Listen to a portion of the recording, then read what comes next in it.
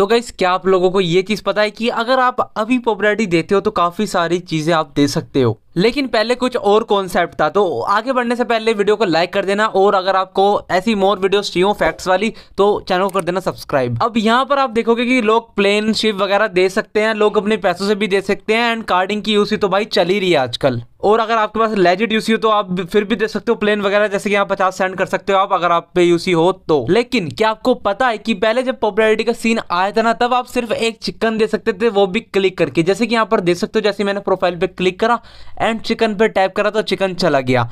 पहले के ज़माने में कोई भी आप शिफ्ट वगैरह कुछ भी नहीं दे सकते थे। डेली का सिर्फ़ एक रहता था, जैसे कि आप यहाँ पर दे सकते हो, जैसे कि मैंने क्लिक करा चिकन पे एंड यहाँ से चलेगी है पॉपुलरिटी तो भाई पहले के ज़माने में बिल्कुल सही था, जो लेजिट थी पॉपुलरिटी जिसकी बस वही होती थी एंड डेली आपके जितने फ्रेंड्स आपको दे सकते हैं, वही दे सकते हैं। आजकल के ज़माने में तो इतनी पॉपुलेशन नहीं है जितनी लोग पॉपुलरिटी लेके बैठे हैं। So thanks for watching this video